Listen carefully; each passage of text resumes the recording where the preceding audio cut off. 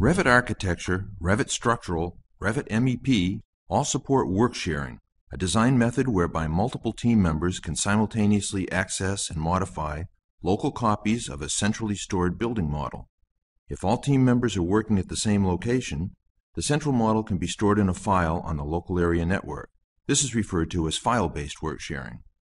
But when teams need to collaborate across a wide area network, the best solution is to use the Revit Server application to implement server-based work sharing.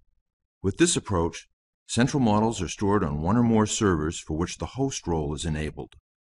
Typically, Revit Server hosts would be deployed at locations that are geographically or organizationally central to the team.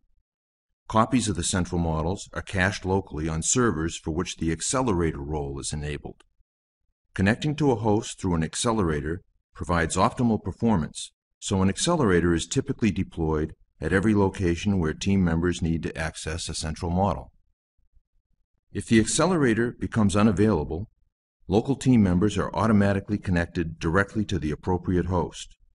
Connections through the accelerator are automatically reestablished when the accelerator becomes available again. As a team member works, the accelerator silently requests updated information from the central model on the host using available network capacity to transfer data over the WAN. The updated version of the model is cached on the accelerator so that updates are readily available when the team member requests them. To access these updates, the team member uses the Reload Latest tool, which prompts the accelerator to make another request to the host for the latest changes to the model. The freshly updated cache is then downloaded to update the team member's copy of the model. Because much of the updated information already resides on the accelerator, the local model is updated more quickly. To update the central model with changes made to a local copy, the team member uses the Synchronize Now tool, which first updates the local cache on the accelerator to reflect those changes, and then updates the central model on the host.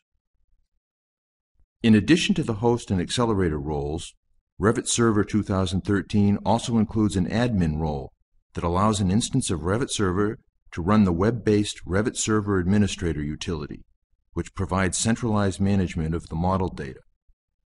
BIM managers and administrators can use this utility to create, delete, rename, and move folders and central models on a Revit Server host. They can also lock models for administrative activities and move models among hosts without team members having to create new local copies.